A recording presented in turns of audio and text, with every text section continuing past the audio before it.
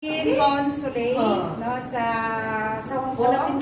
Yan kung sino mga gustong pumunta sa ano lang, ah, tawag ito, Admiralty. Admiralty. ah, Exit D. 29 Floor. Exit dito D. Sa ano, exit D. Yan, bye-bye Hong Kong. I miss you Hong Kong. Really miss you Hong Kong. Dito ako.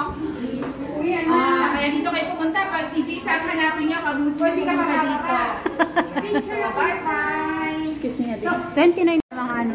Ay, hello kabayan. Hello, good morning. Andito ako sa Philippine Consulate ng Hong Kong.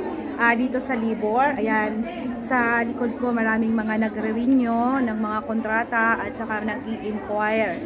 So, gusto ko lang ipaalam sa inyo, ito yung kagandahan dito sa Hong Kong about sa ah, computation ng inyong salary, no? Computation at saka kung gusto nyong makakuha ng KILIS or mga annual leave. Ayan. Gusto ko i-explain sa inyo, ipakita ko sa inyo ha, ipakita ko sa inyo. Alin? Ayan, ito yung computation. Ayan, ang salary hindi pa active kasi hindi pa nakalagay dito yung 4,730. Ayan, ipakita ko sa inyo yung computation. Kung gusto nyo nang mag-leave, makikita nyo yan.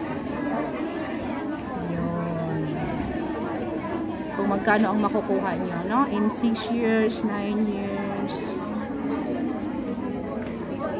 Ulitin ko ha. Ulitin ko para malinaw.